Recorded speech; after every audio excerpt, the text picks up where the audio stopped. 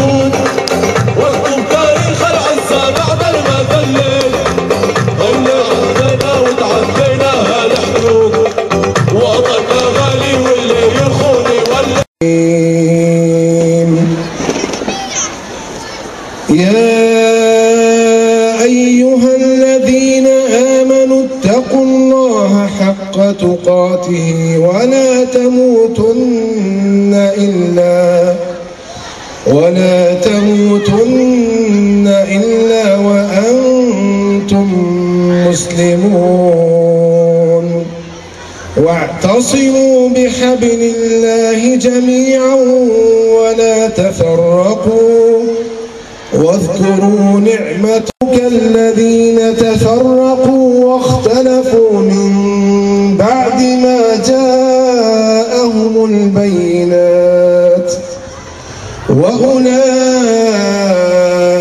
لهم عذاب عظيم.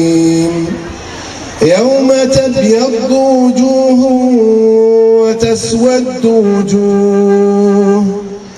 فأما الذين اسودت وجوههم أكفرتم بعد إيمانكم فذوقوا الأسرى البواسل ونحيي أهلنا الذين جاءوا بجموعهم.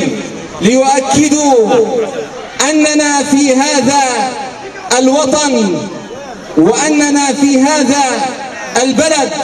قضيتنا الأولى هي قضية الإنسان الذي يستمسك بدينه ويستمسك بثوابته ويستمسك بقدسه ويستمسك بوطنيته. أهلا وسهلا بكم جميعا نحييكم بتحية الإسلام تحية من عند الله مباركة طيبة. السلام عليكم ورحمة الله وبركاته. فأجيبكم أنه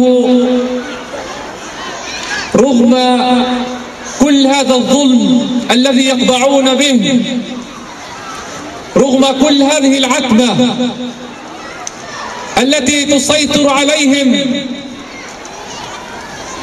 ظلام يلفهم من كل مكان. لا يرون النور.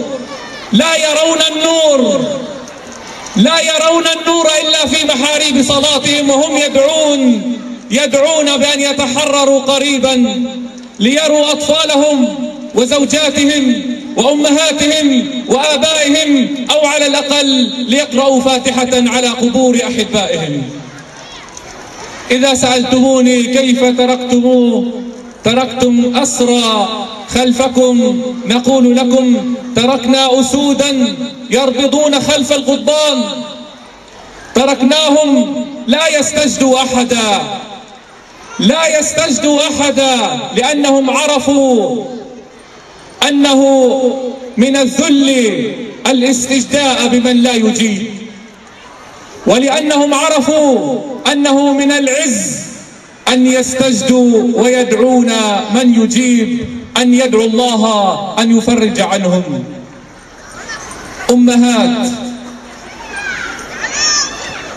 أمهات خلف القضبان ولدنا خلف القضبان ولدنا أطفالا صغارا. في داخل زنزانة وهن مكبلات مكبلات ليس بقيدين ولا واحد بل بأربع مكبلات بأربع وهن يلدن نزعت الرحمة من قلوب من يدعون الديمقراطية والحرية. نزعت الرحمة من قلوب هؤلاء وهم يدعون أنهم يعملون في مؤسسات تأهيلية. ولكن أقول لكم أيها الأحباب من أراد أن ينظر إلى غدر المحتل وإلى دناءته فلينظر هناك. خلف القضبان خلف الأسر فلينظر ماذا يفعلون بالأسرى فلينظر كيف ينكلون بهم في كل دقيقة وفي كل ثانية. حرب شعواء مستمرة. منذ أن يدخل الإنسان إلى خلف هذه القضبان وإلى أن يخرج لا تنتهي أبدا. بعد أن سجنوا وليس على الزيارة. استقبل ولديه الاثنين في غرفة في زنزانة بعد عشرون عاما. بعد أن أصبحوا يافعين بعد أن أصبحوا كبارا. لم يدر ماذا يفعل. صمت. بدأ بضربهم يتحسس جلودهم يقول هؤلاء أبنائي هؤلاء أبنائي يذهب هناك يمينا وشمالا ولا يعرف ماذا يفعل. هي فرحة حزن أم فرحة فرح؟ مجموعة رسائل للقاصي والداني. وأبدأها أولا. أيها الحضور الكرام إننا في عرس كبير. في عرس نصر وفي عرس حرية. وكيف لا يكون عرس نصر ونحن نستقبل فيه أسيرنا البطل نصري. وكيف لا يكون عرس حرية؟ ونحن نستقبل فيه أسيرنا البطل ربيع. لقد سمعت كلماتهم فهزتني من الأعماق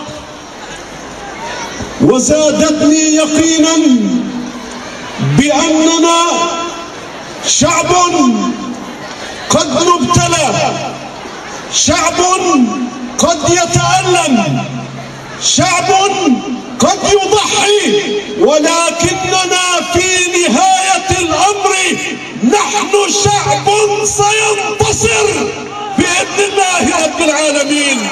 كلماتك حرفا حرفا ولقد ذكرتني بتلك الصرخة التي ابتدأت من سجن عكا في فترة الاحتلال الإنجليزي لفلسطين. وها هي تلك الصرخة تدوي في سجن الرمل حتى سجن جنبوع حتى سجن نفحة.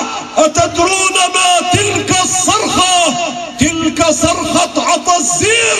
عندما قال بصوت يجلجل يا ظلام السجن خيم إننا نهوى الظلام. ليس بعد الليل